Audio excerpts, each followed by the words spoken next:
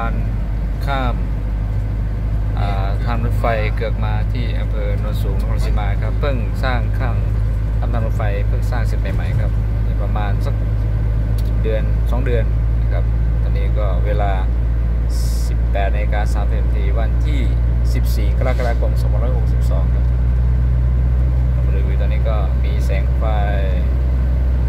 ก็รถได้ทั้งโมอไซค์รถยนต์ขึ้นได้หมดครับ ถ้ารถต่ำๆหน่อยเตี้ยๆรถเก๋งก็มันจะมีทางลอดใต้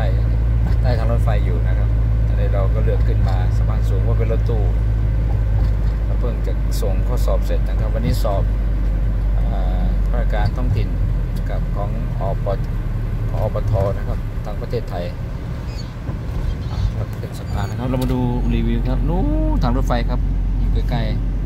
ๆนะครับเห็นไหมทางโค้งสวยครับ นี่ก็รถก็วิ่งก็จำกัดเวลาอ่า30 กิ โลเมตรต่อชั่วโมงนะครับ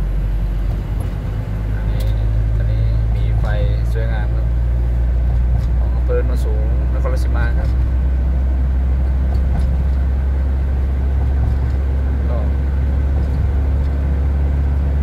ข้างล่างก็เป็นทางรถไฟรางคู่แล้วนะครับ รถไฟก็วิ่งได้รางคู่ ก็ไม่ต้องรอหลีกครับ มีคนละเลน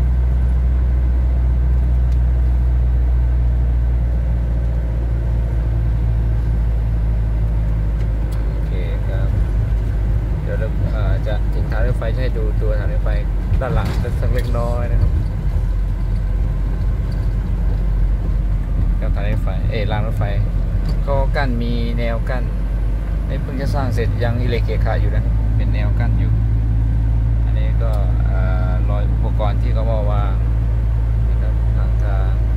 บ้านที่สร้างใหม่นะครับบ้านพัก เป็นบ้านพักนะครับอันนี้เอ่อก็สร้างเสร็จยังไม่อาจจะต้นปลูกต้นไม้ก็ ยังเหี่ยวๆอยู่นะครับสถานีรถไฟนะครับอ่าอันนี้ก็เป็นที่ขายตั๋วนะครับขายตั๋วนี่ขายตั๋วนะครับ มีนาฬิกานะครับ มีป้ายทางนี้รถไฟมันสูงนะครับ ครับ ครับ ขอจบรีวิวแค่นี้นะครับสวัสดีครับ